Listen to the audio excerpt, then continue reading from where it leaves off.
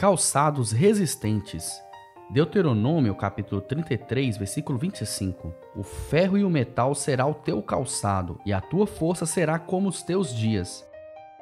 Eis aqui duas coisas providenciadas para os peregrinos, calçados e força. No que se refere aos calçados, eles são muito necessários para viajarmos pelos caminhos escabrosos e saltarmos sobre inimigos mortais. Não andaremos com os pés descalços.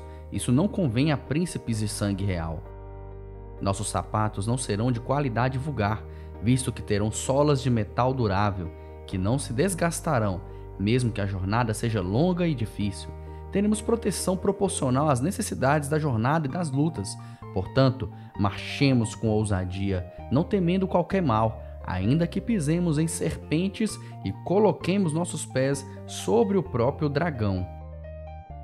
No que se refere à força, ela continuará tão duradoura quanto os dias de nossa peregrinação. Será proporcional às pressões e às sobrecargas de afazeres desses dias. As palavras são poucas, a tua força será como os teus dias. O significado, porém, é completo.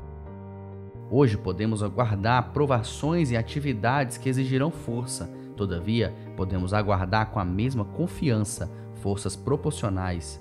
Esta promessa dada a Ser também é outorgada a nós, que temos fé para dela nos apropriarmos. Despertemo-nos para a ousadia santa que esta promessa tem o objetivo de produzir em nosso íntimo.